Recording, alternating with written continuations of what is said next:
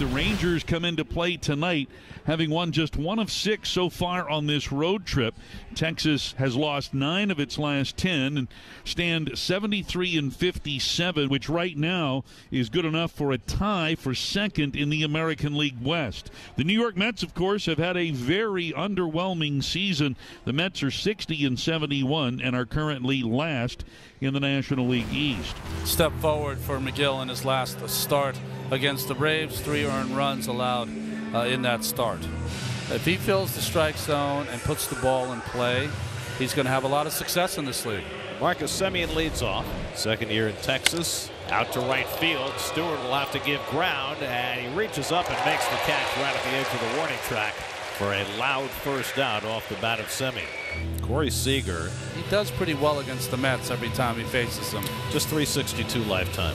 And he takes a fastball for strike three call. Seager must have been looking for something else. Took the 98 mile an hour fastball for the second out. So two out and nobody on. Here's Nathaniel Lowe. And this one lined into left. That's a base hit. Lowe is on. So the Rangers have a base runner in the first. And with that hit, Nathaniel Lowe extends his current nine game streak to 10. Adolis Garcia batting cleanup and already a career high 32 home runs. Hit on the ground to short, waiting on it Lindor. He's got it, goes the short way to second for the force play, and that retires the side. No runs, a hit, one left. Well, we know Jon Gray from his time in the Colorado Rocky uniform. I said that he struggled against the Mets. His last three starts against the Mets, 15 earned runs and 13 and a third innings pitched. Brandon Nimmo trying to snap out of an 0 for 20 stretch, so he'll just pretend he's facing Gray at Coors Field. 2 2 from Jon, and a swing and a miss. And there's that good hard slider. He gets Nimmo swinging one away. And it'll bring up Francisco Lindor, switch hitter batting left, and Francisco on a 13 game hitting streak. And they got him with a fastball. Back to back strikeouts for Gray. That fastball right there had a little bit of explosion to it. So it's Jeff McNeil now. 2 2 pitch, and he hits this in the air right field. And that will be playable. And the Mets go in order here in their half of the first. One inning complete at Citi Field. Rangers and Mets nothing nothing. So here's Ezekiel Duran, 8 9 and 1, due up for the Rangers in a scoreless ball game. Duran, a jack of all trades, lines one to left, and another play for Ortega, who makes the sliding catch. He is always ready to play. He's a hustler, and he always shows lots of energy. That has not changed in a Mets uniform. Now Leody Taveras, and a good breaking ball by Megill. It's a second strikeout he's gotten on his curveball. His fourth strikeout, first time through the batting order. So now Marcus Semien. Now Semien lines one to left. On comes Ortega again, and he slides, and he caught it. He did. Rafael Ortega with a couple of fine plays, each one better than the one before. Here's Brandon Nimmo from the left side. No score, bottom three, runner on. Then he smashes one to deep right field. Forget that. Brandon Nimmo unloads a two-run homer. That snaps his 0 for 21 stretch, and it snaps a scoreless tie tonight. 2 0 New York. Back here at uh, Citi Field, we go to the bottom of the fifth inning. DJ Stewart leads off for New York. As Stewart gets one in the air to deep right center, back near the wall. Taveras watches it go. Home run. DJ Stewart with his seventh home run. And the Mets have another long ball against Jon Gray. 3 0 New York. So you mentioned the third time around penalty for Megill.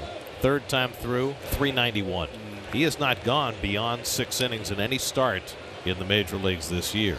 And that's lined the other way. A base hit for Semien. Chase toward the corner. Stewart can't cut it off, and Semien will go to second base with a leadoff double.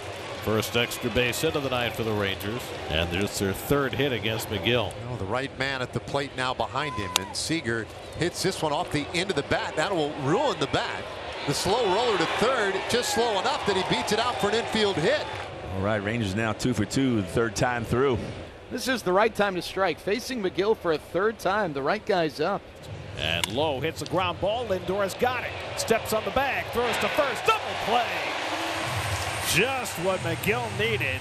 Lindor with the tippy toe to second base with a 6-6-3 double play. Two out. So two out, a runner at third for Garcia. And Garcia hammers it out to the alley and right. That's down. Base hit. Semien scores from third. And Garcia with the RBI double. Well, he takes that extra opportunity to deliver a big RBI. It's three to one. Now a, a simple single by Robbie Grossman could get another two-out run in. Struck him out. Tylor Megill finishes with a flourish. His eighth strikeout to Strand Garcia. Jon Gray was good. Tylor Megill was better. 17 strikeouts between them. Well, it's the best I've seen him this year.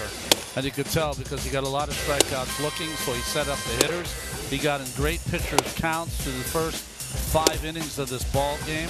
All of his pitches were working well, but it was centered around a fastball he threw two-thirds of the time. Complete effort by Megill. So Raley walks his last batter. Coonrod walks his first batter. And now the bases are loaded with one out for Robbie Grossman. Bouncer right side of the infield. They'll get the out at second one. A run scores and the inning will continue. So now JP Martinez, the rookie left fielder, will come to bat. It's hit in the air to center field, shallow. In comes Nimmo. He's there. Side retired. So here's Ezekiel Duran 0 for 3, but a hard 0 for 3 tonight. Smith at first and the pitch. This one lined out to right center. That's a base hit. Smith got a good jump. He heads to third. Going for second. Duran, he's in there. He's got a double that sets the Rangers up nicely here for Leody Taveras. Runners at second and third with nobody out.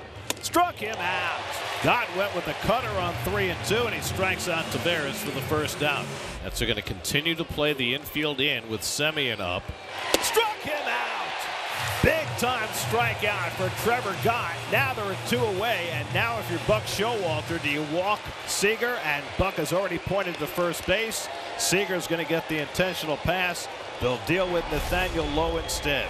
And this one hit sharply into right field. Base hit. Smith scores. Here comes Duran. The throw. Not in time. Two runs score. And the Rangers take a 4-3 lead in the ninth. So now Mendick carries the tying run at first base. And Alvarez's running mate, Omar Narvaez, will come in to try and make something happen. That ball's hit well. Out to right field. Garcia's back. He's got it. And this one is over. A hard hit ball, but into the glove of Garcia. And the Rangers take the first game of this series. And how about it, Val? First time this year, after trailing through eight innings, that they come back to win a game.